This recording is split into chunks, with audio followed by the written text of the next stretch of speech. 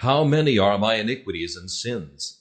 Make me to know my transgression and my sin. There are many persons who long to have a deeper sense of their sinfulness, and then, with a certain show of conscientious scruple, they make an excuse for the exercise of simple faith. That spiritual disease which keeps sinners from Christ assumes a different shape at different times. In Luther's day, the precise evil under which men labored was this. They believed in being self-righteous, and so they supposed that they must have good works before they might trust in Christ. In our day the evil has taken another, and that a most extraordinary shape. Men have aimed at being self-righteous after quite a singular fashion. They think they must feel worse, and have a deeper conviction of sin before they may trust in Christ. Many hundreds do I meet with, who say they dare not come to Christ and trust Him with their souls, because they do not feel their need of him enough. They have not sufficient contrition for their sins. They have not repented as fully as they have rebelled. Brethren, it is the same evil, from the same old germ of self-righteousness, but it has taken another, and I think a more crafty shape. Satan has wormed himself into many hearts under a garb of an angel of light, and he has whispered to the sinner, Repentance is a necessary virtue. Stop until you have repented, and when you have sufficiently mortified yourself on account of sin, then you will be fit to come to Christ, and qualified to trust and rely on Him. It is with that deadly evil I want to grapple this morning. I am persuaded it is far more common than some would think, and I think I know the reason of its great commonness. In the Puritanic age, which was noted certainly for its purity of doctrine, there was also a great deal of experimental preaching, and much of it was sound and healthy. But some of it was unscriptural, because it took for its standard what the Christian felt and not what the Savior said. The inference from a believer's experience, rather than the message which goes before any belief. That excellent man, Mr. Rogers of Dedham, who has written some useful works, and Mr. Shepard, who wrote The Sound Believer, Mr. Flavel, and many others, give descriptions of what a sinner must be before he may come to Christ, which actually represent what a saint is after he has come to Christ. These good brethren have taken their own experience, what they felt before they came into light, as the standard of what every other man ought to feel before he may put his trust in Christ and hope for mercy. There were some in the Puritanic times who protested against that theology, and insisted that sinners were to be bidden to come to Christ just as they were, not with any preparation either of feeling or of doing. At the present time there are large numbers of Calvinistic ministers who are afraid to give a free invitation to sinners. They always garble Christ's invitation thus, If you are a sensible sinner, you may come, just as if stupid sinners might not come. They say, If you feel your need of Christ, you may come. And then they describe what that feeling of need is, and give such a high description of it, that their hearers say, Well, I never felt like that. And they are afraid to venture for lack of the qualification. Mark you, the brethren speak truly in some respect. They describe what a sinner does feel before he comes. But they make a mistake of putting what a sinner does feel as if that were what a sinner ought to feel. What the sinner feels and what the sinner does until he is renewed by grace are just the very opposite of what he ought. We always get wrong when we say one Christian's experience is to be estimated by what another Christian has felt. No, sir. My experience is to be measured by the Word of God, and what the sinner should feel is to be measured by what Christ commands him to feel, and not by what another sinner has felt. Comparing ourselves among ourselves, we are not wise. I do believe there are hundreds and thousands who remain in doubt and darkness, and go down in despair, because there is a description given and a preparation for Christ demanded to which they cannot attain, a description indeed which is not true. because it is a description of what they feel after they have found Christ, and not what they must feel before they may come to him. Now then, with all my might, I come this morning to break down every barrier that keeps a soul from Christ, and as God the Holy Spirit shall help me, to dash the battering ram of truth against every wall that has been built up, whether by doctrinal truth or experimental truth, that keeps the sinner from Christ who desires to come and to be saved by him. I shall attempt to address you in the following order this morning. First, a little by way of consolation, then a little by way of instruction, a little more upon discrimination or caution, and in the last place, a few sentences by way of exhortation. First, beloved, let me speak to you who are desiring to feel more and more your sins, and whose prayer is the prayer of the text. Lord, how many are mine iniquities and my sins? Make me to know my transgression and my sin. Let me try to comfort you. It ought to give you much solace when you recollect that the best of men have prayed this prayer before you. The better a man is, the more anxious he is to know the worst of his case. The more a man gets rid of sin, and the more he lives above his daily faults and errors, the more does he cry, Search me, O God, and know my heart. O try me and know my thoughts, and see if there be any wicked way in me, and lead me in the way everlasting. Bad men do not want to know their badness. It is the good man the man who has been renewed by grace, who is anxious to discover what is his disease, that he may have it healed. Ought it not then to be some ground of comfort to you that your prayer is not a prayer which could come from the lips of the wicked, but a prayer which has constantly been offered by the most advanced of saints, by those who have most grown in grace? Perhaps that is a reason why it should not be offered by you who just now can scarcely hope to be a saint at all. Yet it should be a matter of sweet rejoicing that your prayer cannot be an evil one, because the amens of God's people, even those who are the fathers in our Israel, go up to God with it. I am sure my aged brothers and sisters in Christ now present can say unanimously, That has often been my prayer, Lord, let me know my iniquity and my sin. Teach me how vile I am, and lead me daily to Christ Jesus, that my sins may be put away. Let this reflection also comfort you. You never prayed like this years ago when you were a careless sinner.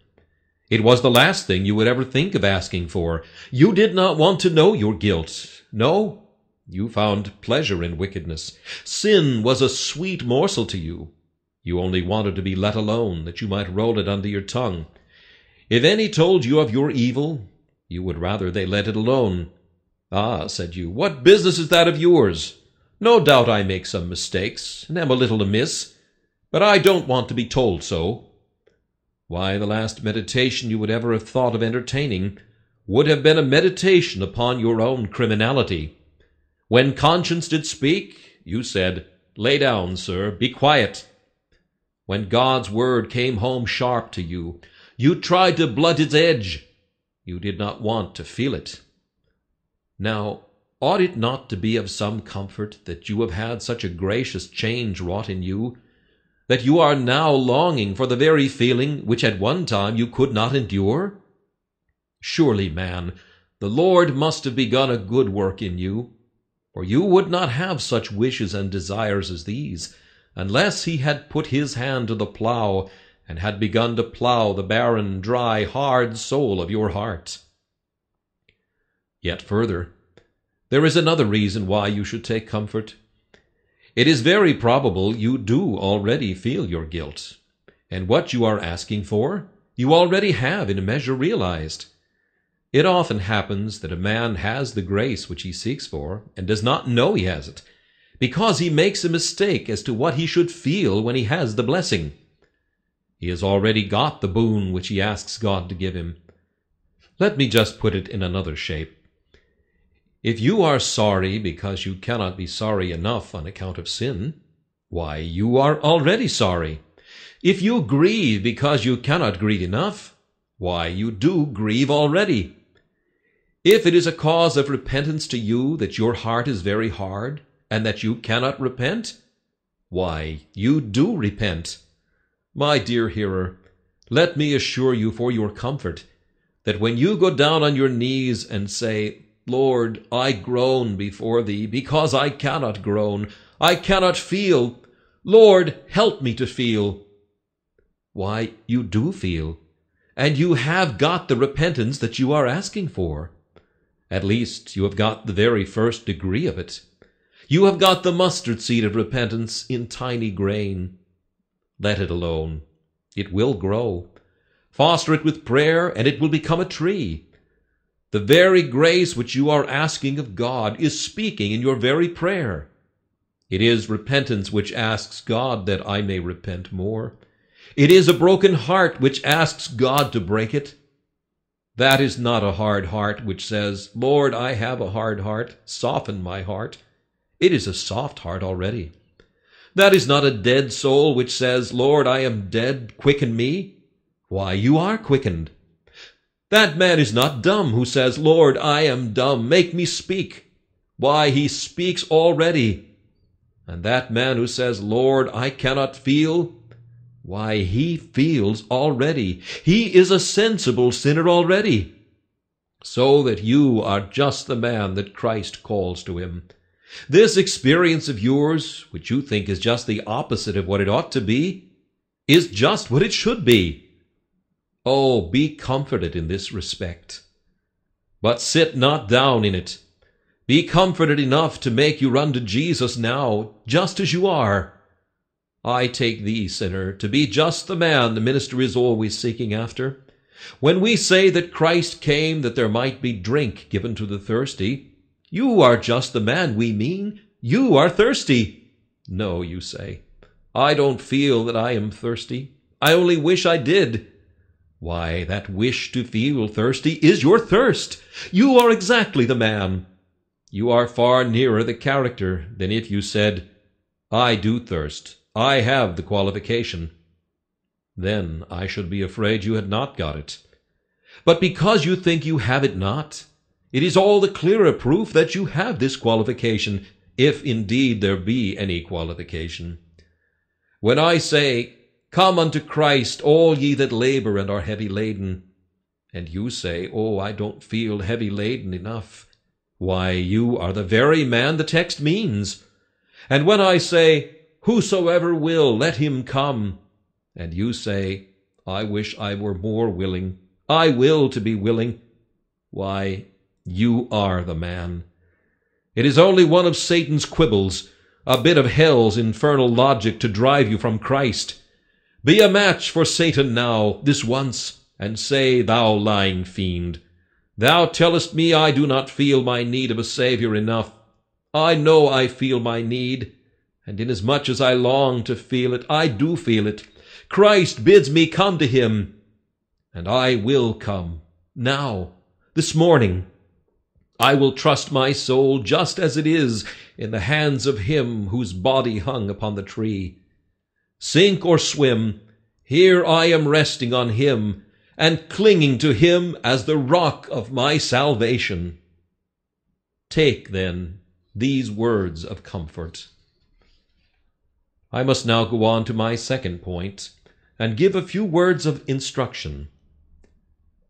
And so, my hearer, you anxiously long to know how many are your iniquities and your sins.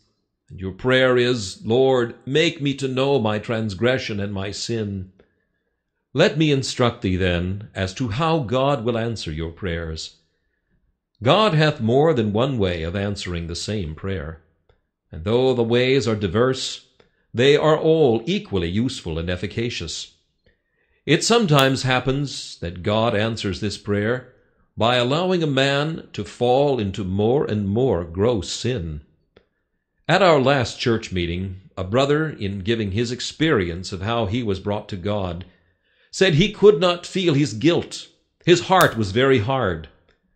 Till it happened one day he was tempted to the utterance of an untruth.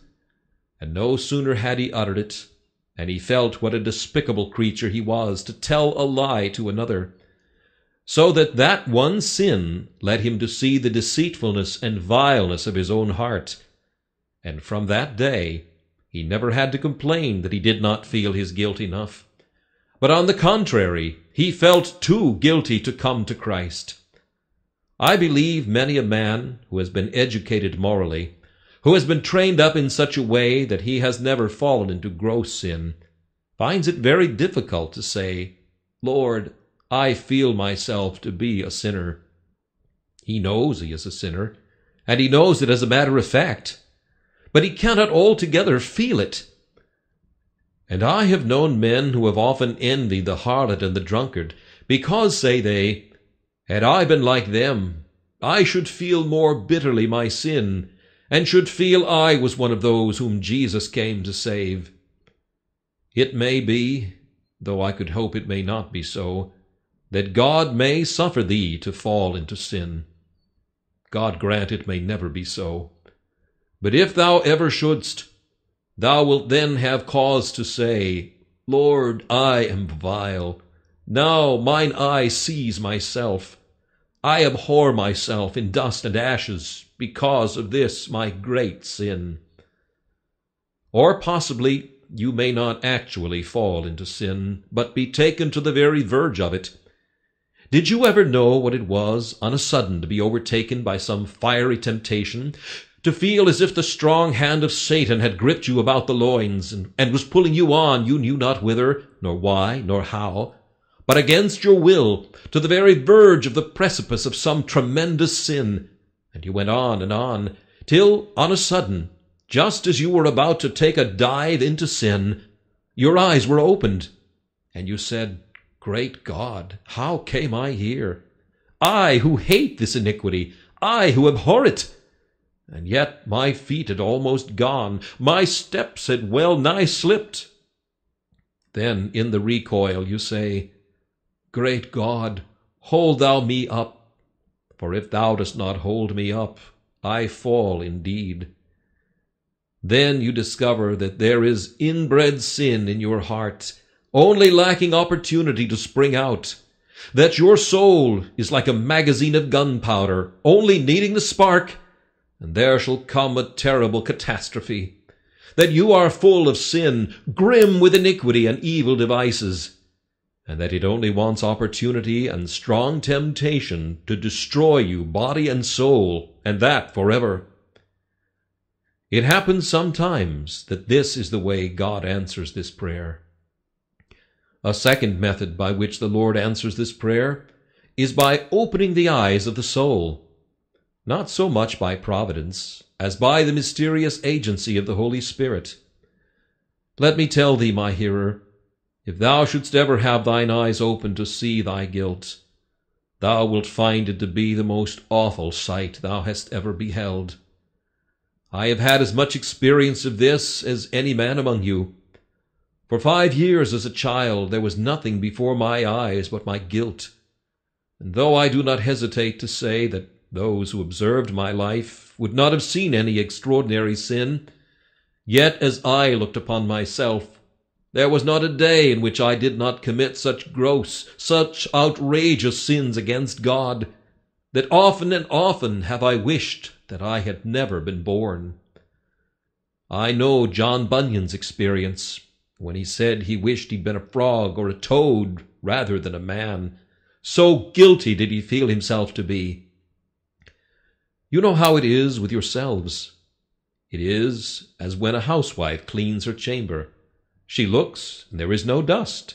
The air is clear, and all her furniture is shining brightly. But there is a chink in the window shutter.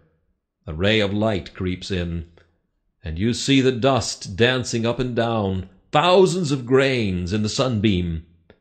It is all over the room the same, but she cannot see it only where the sunbeam comes. It is just so with us.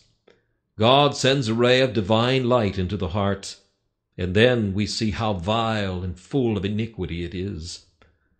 I trust, my hearer, that your prayer may not be answered as it was in my case, by terrible conviction, awful dreams, nights of misery and days of pain. Take care. You are praying a tremendous prayer when you are asking God to show you your wickedness. Better for you to modify your prayer and put it thus Lord, let me know enough of my iniquity to bring me to Christ, not so much as to keep me from him, not so much as to drive me to despair, but only enough to be divorced from all trust in myself, and to be led to trust in Christ alone. Otherwise, like Moses, you may be constrained to cry out in a paroxysm of agony, O Lord, Kill me, I pray thee, out of hand, if I have found favor in thy sight, and let me not see my wretchedness. Still, however, the practical question recurs, and you ask me again, Tell me how I can feel the need of my Savior. The first advice I give you is this particularize your sins. Do not say, I am a sinner. It means nothing. Everybody says that. But say this Am I a liar? Am I a thief? Am I a drunkard? Have I had unchaste thoughts? Have I committed unclean acts? Have I in my soul often rebelled against God? Am I often angry without a cause? Have I a bad temper? Am I covetous? Do I love this world better than the world to come? Do I neglect prayer? Do I neglect the great salvation? Put the questions upon the separate points, and you will soon convict yourself much more readily than by taking yourself in the gross as being a sinner. I have heard of a hypocritical old monk who used to whine out while he whipped his back as softly as he could, Lord, I am a great sinner, as big a sinner as Judas. And when someone said, Yes, that you are, you are like Judas, a vile old hypocrite, then he would say, No, I am not.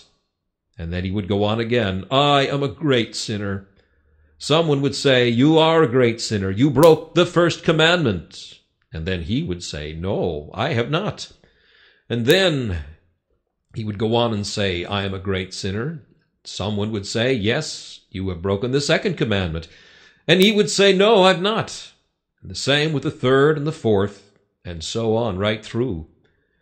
So it came to pass he had kept the whole ten according to his own account, and yet he went on crying he was a great sinner.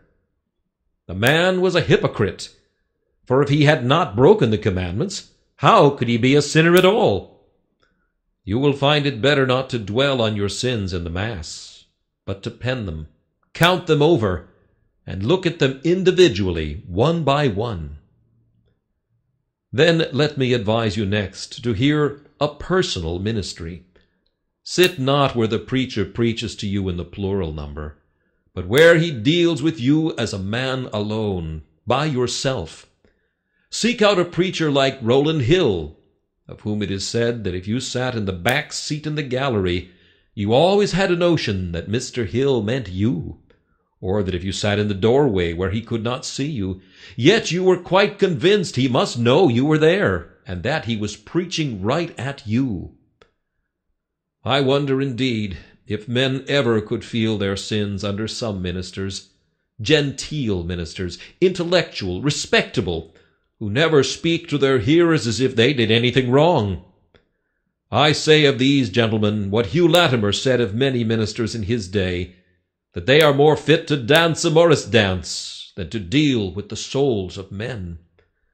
I believe there are some this day more fit to deliver smart lectures and bring out pleasing things to soothe carnal minds than to preach the word of God to sinners. We want the like of John the Baptist back again and Boanerges. We want men like Baxter to preach as though they might not preach again, as dying men to dying men. We want men like John Berridge, who have pulled the velvet out of their mouths years ago and cannot speak fine words, men that hit hard, that draw the bow and pull the arrow to its very head and send it right home, taking deadly aim at the heart and the conscience of men, ploughing deep, hitting at the private lusts and at the open sins, not generalizing, but particularizing, not preaching to men in the mass, but to men in the detail, not to the mob and the crowd, but to each man separately and individually. Grow not offended with the minister if he come too close to you. Remember, that is his duty. And if the whip goes right round you and stings you, thank God for it. Be glad of it. Let me, if I sit under a ministry, sit under a man who uses the knife with me sometimes, a man who will not spare me, a man who will not flatter me. If there should be flattery anywhere, let it not be at any rate in the pulpit. He who deals with men's souls should deal with them very plainly the pulpit is not the place for fine words when we have to deal with the solemnities of eternity. Take that advice, then, and listen to a personal, home smiting ministry. Next to that, if thou wouldst know thy sins, study much the law of God. Let the twentieth chapter of Exodus be often before your eyes and take with it as a commentary Christ's sermon and Christ's speech when he said, He that looketh on a woman to lust after her hath committed adultery already with her in his heart. Understand that God's commandments mean not only what they say in words, but that they touch the thought, the heart, the imagination. Think of that sentence of David, Thy commandments are exceeding broad. And thus, I think, thou wilt soon come to detect the heinousness of thy sin and the blackness of thy guilt. And if thou wouldst know still more, spend a little time in contemplating the fatal end of thy sin, shouldst thou die impenitent. Dare to look downward to that fire which must be thy eternal doom unless Jesus Christ save thee. Be wise, sinner, and look at the harvest which thou shalt surely reap if thou sowest tares. Sometimes let these words ring in thy ears. These shall go away into everlasting punishment. Open thy ears and listen to the end of this text, where there is weeping and wailing and gnashing of teeth. Let such a passage as this be chewed over in your soul the wicked shall be cast into hell with all the nations that forget God. These solemn thoughts may help you. Such books as Alleine's Alarm, Baxter's Call to the Unconverted, Doddridge's Rise and Progress may have a good effect on your mind in helping you to see the greatness of your guilt by making you meditate upon the greatness of its punishment. But if thou wouldst have a better and more effectual way still, I give thee one other piece of advice. Spend much of your time in thinking upon the agonies of Christ, for the guilt of thy sin is never so clearly seen anywhere as in the fact that it slew the Saviour. Think what an evil thing that must be which cost Christ his life in order to save thee. Consider, I say, poor soul, how black must be that vileness which could only be washed out with his precious blood! How grievous those offences which could not be expiated unless his body were nailed to the tree, his side pierced, and unless he died in fever and in thirst, crying, My God, my God, why hast thou forsaken me? Go thou to the garden at the foot of the Mount of Olives, and see the Saviour in his bloody sweat, Go thou to Pilate's hall, and see him in his shameful accusations. Go thou to the hall of Herod's praetorian guard, and see there how the mighty men set Christ at naught. And go then, last of all, to Calvary, and see that spectacle of woe. And if these do not show thee the blackness of thy sin, then nothing can. If the death of Christ do not teach thee thy need of a Saviour, then what remedy remains for a heart so hard, for a soul so blind as thine? Thus have I given you words of instruction. Forget them not, put them into practice. Be ye not hearers only, but doers of the word. And now, very briefly indeed, A few sentences by way of discrimination. Thou art longing, my hearer, to know thy great guilt, and to feel thy need of Jesus. Take care that thou dost discriminate between the work of the Spirit and the work of the devil. It is the work of the Spirit to make thee feel thyself a sinner. But it never was his work to make thee feel that Christ could forget thee. It is the work of the Spirit to make thee repent of sin. But it is not the work of the Spirit to make thee despair of pardon. That is the devil's work. You know Satan always works by trying to counterfeit the work of the Spirit. He did so in the land of Egypt. Moses stretched out his rod and turned all the waters into blood. Out came Jannes and Jambres, and by their cunning and sleight of hand they have a large piece of water brought, and they turned that into blood. Then Moses fills the land with frogs. The ungracious sorcerers have a space cleared, and they fill that with frogs. Thus they oppose the work of God by pretending to do the same work. So will the devil do with thee. Ah, says God the Holy Spirit, sinner, thou canst not save thyself. Ah, says the devil, and he cannot save thee either.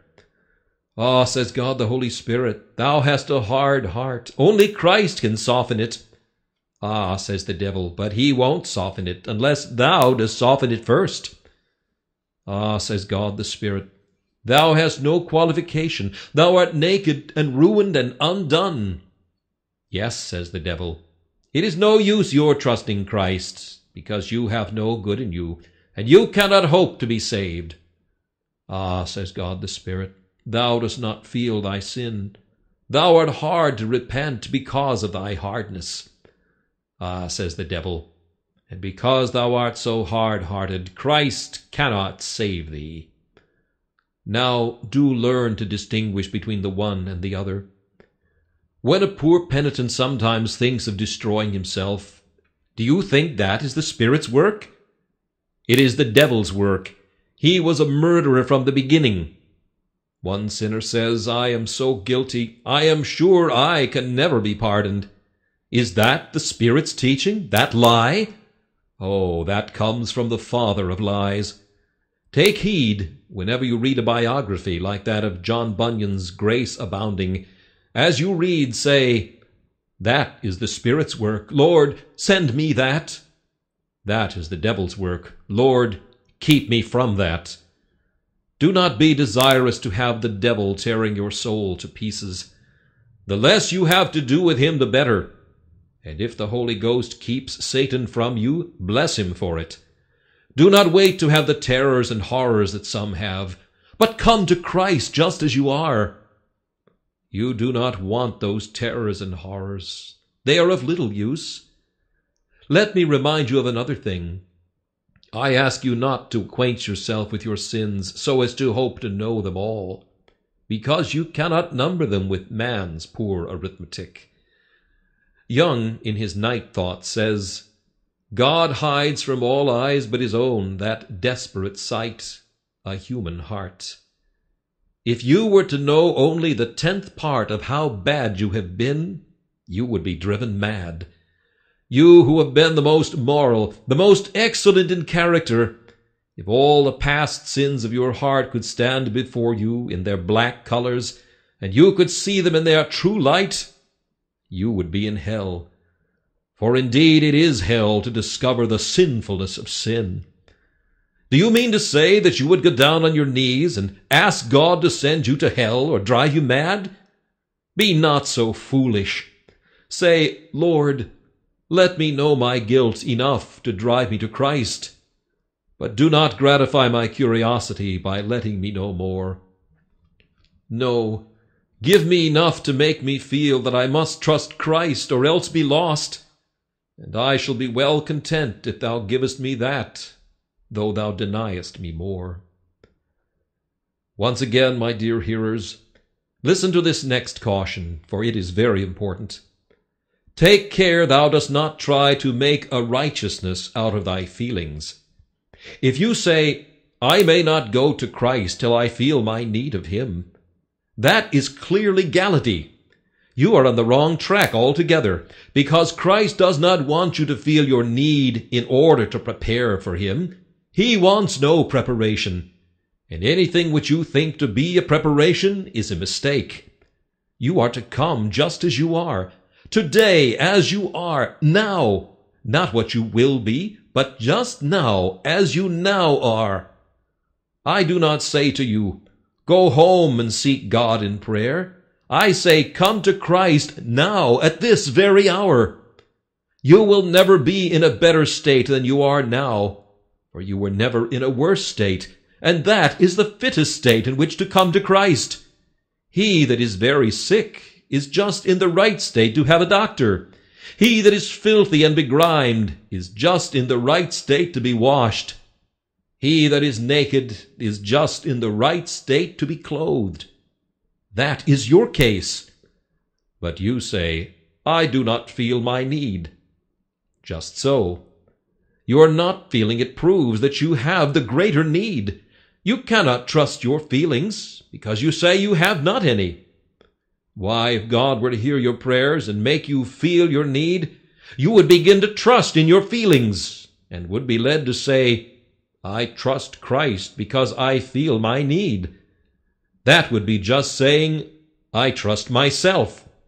All these things are but popery in disguise. All this preaching to sinners that they must feel this and feel that before they trust in Jesus is just self-righteousness in another shape. I know our Calvinistic brethren will not like this sermon. I cannot help that, for I do not hesitate to say that Phariseeism is mixed with hyper-Calvinism more than with any other sect in the world. And I do solemnly declare that this preaching to the prejudice and feelings of what they call sensible sinners is nothing more than self-righteousness taking a most cunning and crafty shape. For it is telling the sinner that he must be something before he comes to Christ. Whereas the gospel is preached not to sensible sinners, or sinners with any other qualifying adjective, but to sinners as sinners, to sinners just as they are. It is not to sinners as repentant sinners, but to sinners as sinners, be their state what it may, and their feelings whatever they may. O oh, sinners, mercy's door is wide open flung to you this morning. Let not Satan push you back by saying, You are not fit. You are fit. That is to say, you have all the fitness Christ wants, and that is none at all. Come to him just as you are. Oh, says one, but you know that hymn of Hart's. All the fitness he requireth is to feel your need of him. I cannot get that. Let me counsel you then, never to quote part of a hymn or part of a text. Quote it all all the fitness he requireth is to feel your need of him. This he gives you. Tis his Spirit's rising beam. Come and ask him to give it to you, and believe he will give it you. Do believe my Master is longing to save you. Trust him, act on that belief, sinner, and you shall be saved. Or else I will be lost with you. Do but believe that my Master has got a loving heart, and that he is able to forgive, and that he has a mighty arm and is able to deliver you. Do him the honor now of not measuring his corn with your bushel. For his ways are not your ways, neither are his thoughts your thoughts. As high as the heaven is above the earth, so high are his ways above your ways, and his thoughts above your thoughts. Today he says to you, Believe on the Lord Jesus Christ, and thou shalt be saved. Sinner, if thou believest and art not saved, why, God's word is a lie, and God is not true. And wilt thou ever dream that to be the case? No, sinner, close in now with the proclamation of this gospel, and say, I'll to the gracious King approach, whose sceptre mercy gives. Perhaps he may command my touch, and then the suppliant lives. Perhaps he will admit my plea, perhaps will hear my prayer. But if I perish, I will pray, and perish only there. Thou canst not perish trusting in Christ. Though thou hast no good works and no good feelings, yet if thine arms are around the cross, and if the blood be sprinkled on thy brow, when the destroying angel shall pass through the world, he shall pass over thee. Thus is it written, When I see the blood, I will pass over you. Not when I see your feelings about the blood, not when I see your faith in the blood, but when I see the blood, I will pass over you. Learn to discriminate between a sense of sin which would humble thee, and a sense of sin which would only make thee proud. When thou hast come to say, I have felt my sin enough, and therefore I am fit to come to Christ, it is nothing but pride dressed in the garb of humility. Let me tell thee one more thing before I have done with thee on this point. Anything which keeps thee from Christ is sin. Whatever thought thou hast which keeps thee from trusting Christ today is a sinful thought. And every hour thou continuest as thou art, an unbeliever in Christ, the wrath of God abideth on thee. Now why shouldst thou be asking for a thing which may help to keep thee from Christ all the longer? You know now that you have nothing good in you. Why not trust in Christ for all? But you say, I must first of all feel more. Poor soul, if you were to feel more acutely, you would find it all the harder to trust Christ. I prayed to God that he would show me my guilt. I little thought how he would answer me. Why, I was such a fool that I would not come to Christ unless the devil dragged me there. I said, Christ cannot have died for me because I have not felt miserable enough. God heard me, and believe me, I will never pray that prayer again. For when I began to feel my guilt, then I said, I am too wicked to be saved. And I found the very thing I'd been asking for was a curse upon me, and not a blessing. So if thou shouldst feel what thou askest to feel, it might be the cause of thy condemnation. Be wise, therefore, and listen to my master's voice. Stay not to gather together the fuller's soap and the refiner's fire, but come thou, and wash now in Jordan, and be clean.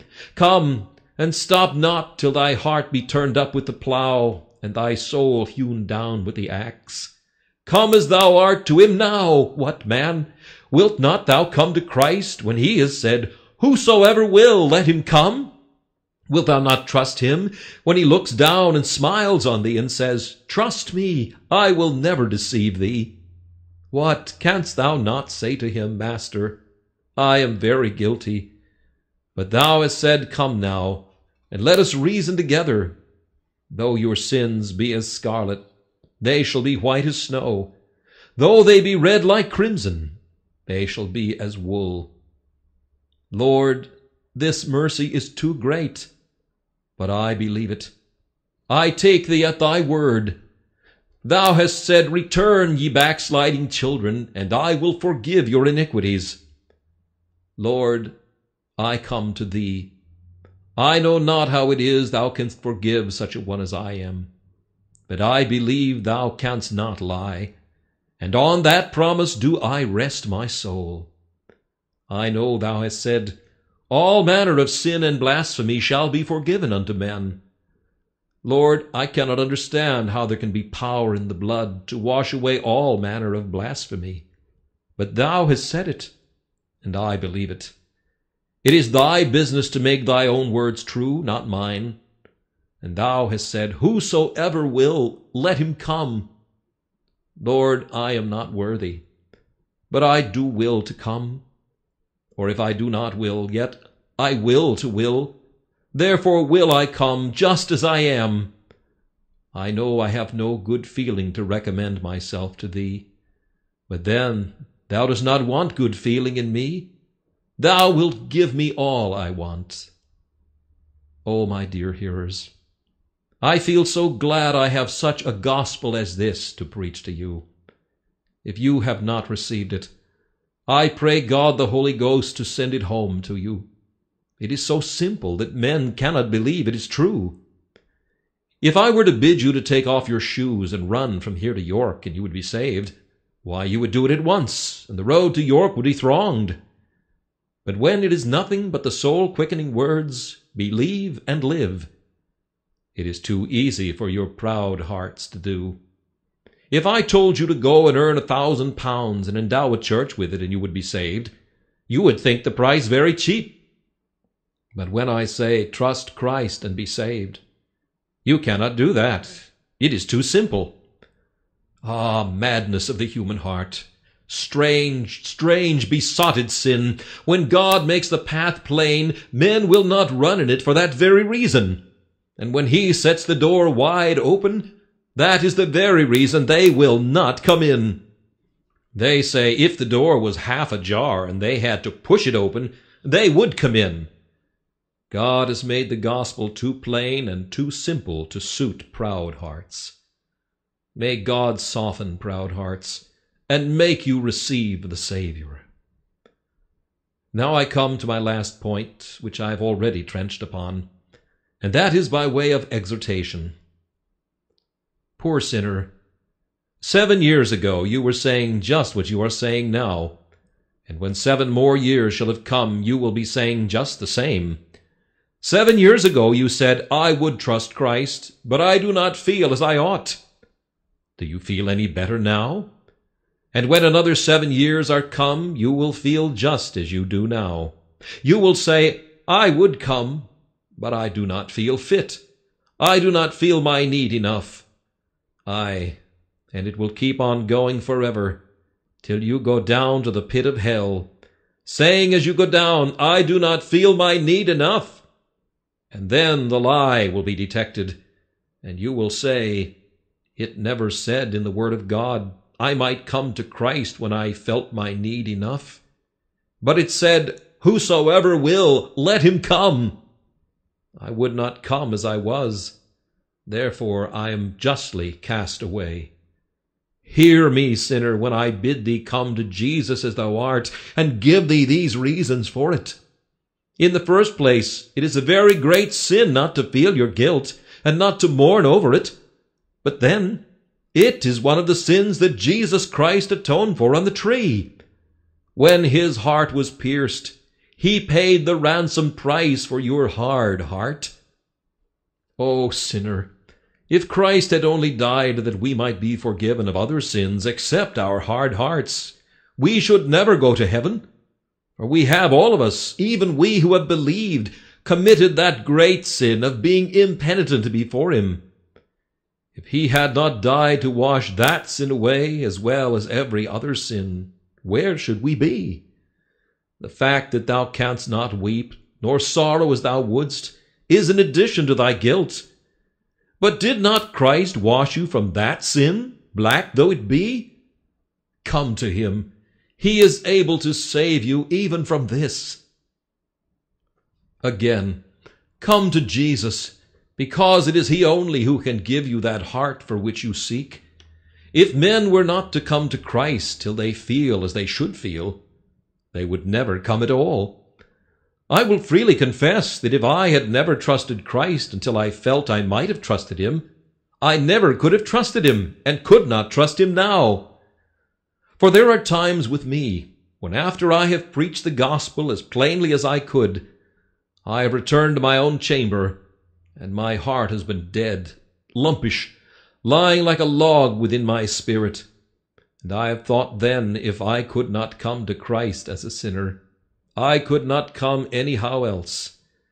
If I found in the text one word before that word sinner, Jesus Christ came into the world to save, and then an adjective, and then sinners, I should be lost. It is just because the text says sinners, just as they are, that Jesus Christ came into the world to save sinners, that I can hope he came to save me. If it had said that Jesus Christ came into the world to save soft-hearted sinners, I should have said, Lord, my heart is like adamant. If it had said that Jesus came into the world to save weeping sinners, I should have said, Lord, Though I press my eyelids, I could not force a tear. If it had said that Jesus came into the world to save sinners that felt their need of him, I should say, I do not feel the need of it. I know I do need thee, but I do not feel it. But Lord, thou camest to save sinners, and I am saved. I trust thou camest to save me, and here I am, sink or swim, I rest on thee. If I perish, I will perish trusting thee, and if I must be lost, in thy hands it shall be. For in my own hands I will not be in any respect, or in any degree whatever. I come to that cross, and under that cross I stand. Thy perfect righteousness my beauty is, my glorious dress. Come, sinner, to Christ, because he can soften thine heart, and thou canst never soften it thyself. He is exalted on high to give repentance and remission of sins, not merely the remission, but the repentance too. He gives his grace not merely to those who seek it, but even to those that seek it not. He gives repentance not to those who repent themselves, but to those who cannot repent. And to those who are saying, Lord, I would, but cannot feel. I would, but cannot weep. I say, Christ is just the Savior for you, a Christ that begins at the beginning and does not want you to begin a Christ that shall go to the end and won't want you to finish, a Christ that does not ask you to say Alpha and then he will be the Omega, but he will be both Alpha and Omega, Christ that is the beginning and the end, the first and the last. The plain gospel is just this. Look unto me, and be ye saved, all the ends of the earth. But, Lord, I cannot see anything. Look unto me. But, Lord, I do not feel. Look unto me. But, Lord, I cannot say I feel my need. Look unto me, not unto thyself. All this is looking to thyself. But, Lord, I feel sometimes that I could do anything. But a week passes, and then I'm hard of heart. Look unto me. But, Lord, I have often tried. Try no more. Look unto me. Oh, but Lord, thou knowest. Yes, I know all things. I know everything, all thine iniquity and thy sins. But look unto me. Oh, but often, Lord, when I've heard a sermon, I feel impressed. Yet it is like the morning cloud and the early dew. It passes away. Look unto me, not to thy feelings or thy impressions. Look unto me. Well, says one, but will that really save me, just looking to Christ? My dear soul, if that does not save thee, I am not saved. The only way in which I have been saved, and the only gospel I can find in the Bible, is looking to Christ. But if I go on in sin, says one, but you cannot go on in sin. Your looking to Christ will cure you of that habit of sin. But if my heart remains hard, it cannot remain hard. You will find that looking to Christ will keep you from having a hard heart. It is just as we sing in the penitential hymn of gratitude. Dissolved by thy mercy, I fall to the ground, and weep to the praise of the mercy I found. You will never feel as you ought until you do not feel what you ought. You will never come to Christ until you do not feel that you cannot come. Come as thou art. Come in all thy poverty and stubbornness and hardness, just as you are now. Take Christ to be your all in all. Sound your songs, ye angels. Smite your golden harps, ye redeemed ones. There are sinners snatched from hell today. There are men who have trusted Christ this morning, though they scarcely know it. Their sins are all forgiven. Their feet are on the rock. The new song shall soon be in their mouth, and their goings shall be established. Farewell, ye brethren. Turn to God this morning. God shall keep you, and you shall see his face, in glory everlasting. Amen.